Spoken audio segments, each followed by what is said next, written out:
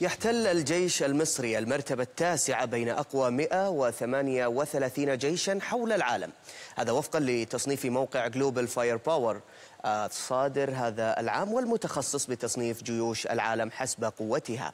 الأمر الذي يشير إلى إمكانيات التسليح الكبيرة التي يتمتع بها هذا الجيش وجاهزيته العالية وأيضا قوة الجيش المصري تستعرضها لنا غوى إليك. دعنا نتابع في قوة الجيش المصري. عبد العزيز كما ذكرت إذ يمتلك الجيش المصري مشاهدين أكثر من 1050 طائرة حربية بينها 215 مقاتلة و88 هجومية و59 للنقل العسكري.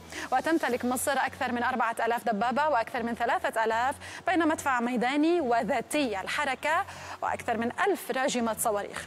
أما القوة البحرية فتتكون من سبع فرقاتات وسبع طرادات و45 زورق دورية و31 كاسحة ألغام بحرية إضافة إلى ثمان غواصات بينها ثلاث غواصات هجومية.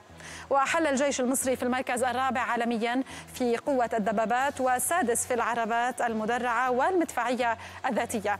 وحصد أيضا نقاطا مرتفعة في قوة قواعد الصواريخ التي كذلك احتلت المرتبة السادسة عالميا. أما في القوة البحرية فجاءت مصر بالمركز الثاني عالميا في قوة الألغام والألغام البحرية والمركز الثالث في تقييم حاملات الطائرات. وفي القوة الجوية جاءت المقاتلات التدريبية المصرية في المركز الخامس عالميا بينما حلت المروحيات المقاتلة في المركز الثامن عالميا.